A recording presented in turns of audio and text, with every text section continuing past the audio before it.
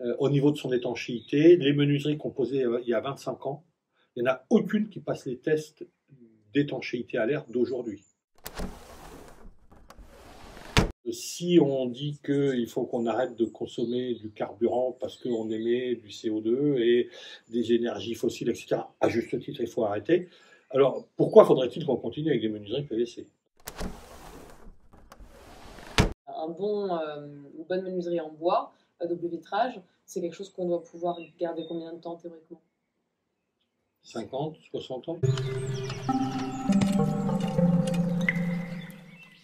Les menuisiers, un musée lambda dira que en termes d'isolation, le PVC c'est beaucoup mieux que le bois. Et, euh, Alors déjà, il dit une grosse ânerie. Ouais. Déjà, déjà.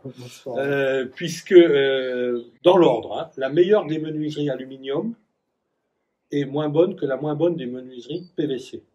Oui, c'est ça. Ça, on Voilà. avait, Ça- on ça, avait déjà- dit justement parce qu'on avait de, de l'aluminium dans un ancien logement Voilà. et donc on nous avait conseillé de passer plutôt sur Voilà. Alors le- la meilleure des expérience. aluminium est moins bonne que la moins bonne des PVC et la meilleure des PVC est moins bonne que la moins bonne des bois.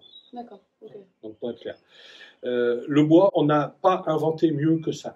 Le PVC, ça ne dure pas dans le temps.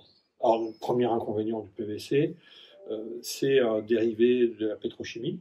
Enfin, c'est issu de la pétrochimie. Donc, euh, si on dit qu'il faut qu'on arrête de consommer du carburant parce qu'on émet du CO2 et des énergies fossiles, etc., à juste titre, il faut arrêter. Alors, pourquoi faudrait-il qu'on continue avec des menuiseries PVC hein? Donc, euh, non, surtout pas. En plus de ça, euh, ce sont des, c'est très mou, les menuiseries PVC. Donc, pour que ça reste rigide, on leur met un petit peu des renforts aux angles. Donc, quand on fait les essais en soufflerie pour passer ce qu'on appelle les tests de, soufflerie, ça tient, il n'y a pas de problème. Mais au bout de 10, 15 ans, bah, c'est tout mou dans tous les sens. Alors, vous, c'est beaucoup de, la fenêtre, pas très grande, donc ça irait.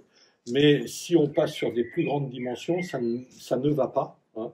Euh, et si vous regardez, alors je ne sais, il y a longtemps que je n'ai pas fait ce test, mais j'avais regardé à un moment donné sur les euh, catalogues de fabricants industriels, style euh, cas par cas, style voilà, enfin vous voyez tous ces grands noms qu'on va essayer d'éviter. Hein.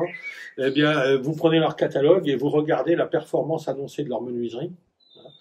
La UW, hein, la performance sur la menuiserie en total. hein. Et il y en a le UG pour le U-Glass, le UF pour la- la- la- le châssis, etc. Et le UW, c'est la, la performance globale. Là, vous verrez que vous prenez une surface déterminée, vous regardez du bois, une bonne facture en bois, hein, un, un 62 ou un 68 mm. hein. Euh, vous prenez un PVC et vous prenez un aluminium, et vous comparez, vous aurez votre réponse.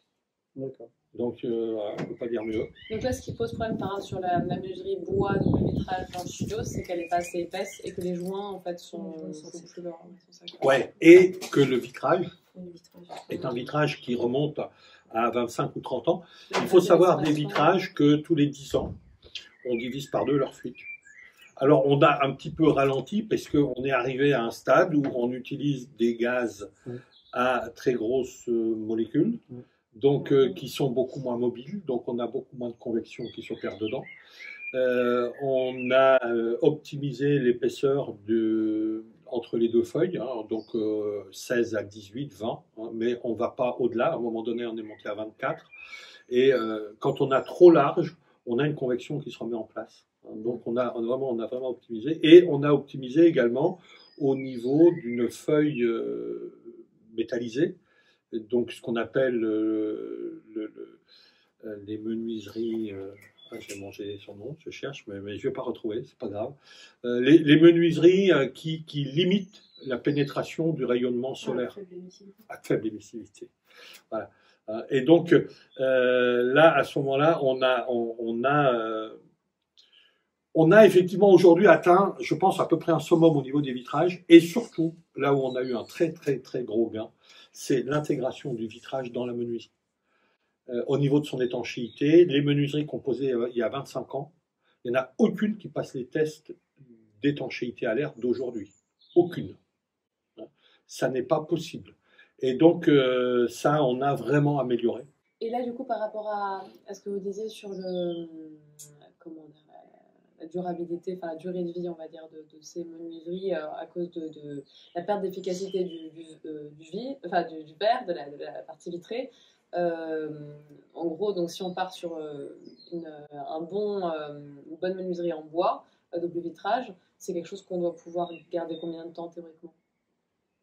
50, 60 ans D'accord, ok, oui, mais donc malgré cette, euh, cette perte d'efficacité. euh, Ah non, mais c'est pas qu'elle perte en efficacité. Le, le- le vitrage, il a l'efficacité qu'il a. D'accord. Ça veut dire qu'on invente des vitrages de plus en plus performants. Ah, d'accord. on, on- on a une, Ouais, euh, une croissance dans la qualité, euh, dans la performance, pas la qualité, parce que à la limite, il fa- même un fabricant peut, peut fabriquer aussi mal ou aussi bien aujourd'hui qu'il y a 20 ans.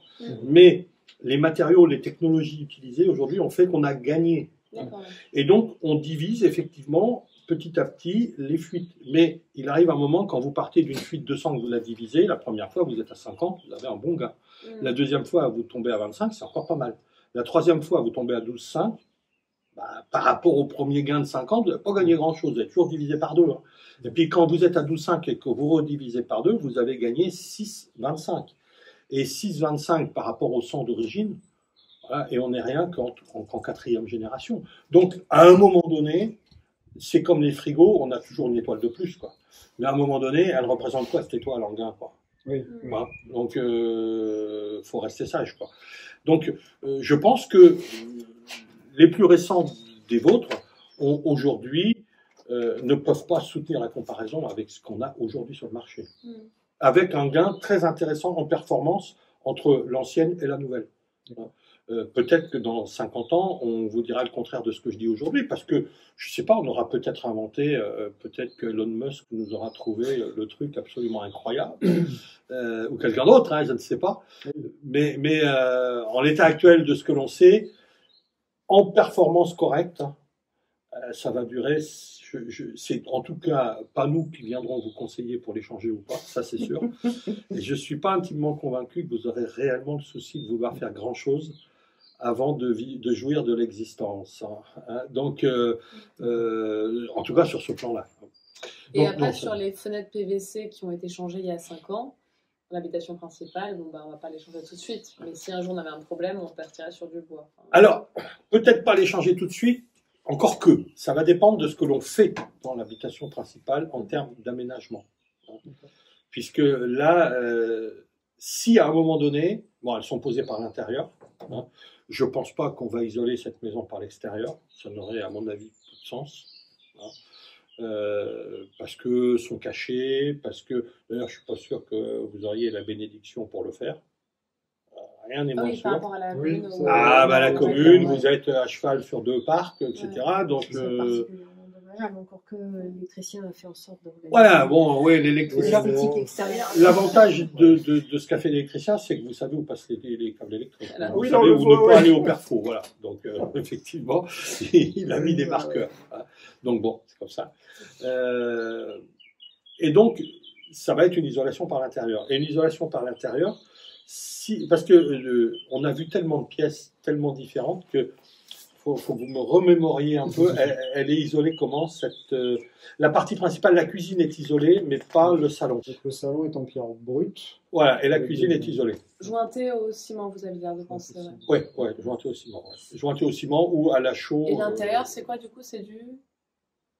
On Et là, voit on avait d'ailleurs. dit que c'était un ciment qui a Ouais. été mis appliqué sur Sur la euh, la cuisine. La cuisine, elle n'est pas du tout isolée. Voilà, d'accord. Non. Ah non, on Par a, contre, on on a enduit en- ciment. Voilà, on a enduit ciment. Soit on a joint ciment, soit on a enduit ciment globalement sur Voilà, l'ensemble. voilà. En fait, Donc globalement, on n'a pas de correcteur thermique au niveau de, cette- ces- de cet espace-là. Alors, puisque on, on- on aborde ce sujet, chez vous, vous avez la nécessité d'améliorer thermiquement cette maison. Au niveau des menuiseries, ce sera fait. Vous veillez bien quand le menuisier vous les posera, qu'il vous les, ou si vous, c'est vous qui les posez, posez-les bien avec ce qu'on appelle des joints compribantes, en fait des joints qui soient reconnus comme gardant leur efficacité pour assurer l'étanchéité à l'air par rapport au, au- au mur hein, euh, et ne pas les laisser travailler avec euh, des joints acryliques, euh, des thiocols ou je ne sais quel autre polyuréthane. Ah, Non, polyuréthane. ça, ça sèche et tout. Ça n'est d'ailleurs pas reconnu. C'est pas, pas dans les DTU, on n'a pas le droit de le faire. Ils le font tous, mais on n'a pas le droit. Comme ça. Euh, et on a effectivement des, des, ce qu'on appelle le compriband, qui, est- une espèce de mousse euh, avec euh, un bitume qui reste mou, qui reste malléable. Donc ça, on assure une étanchéité à long terme avec ça. Ça, ça marche bien.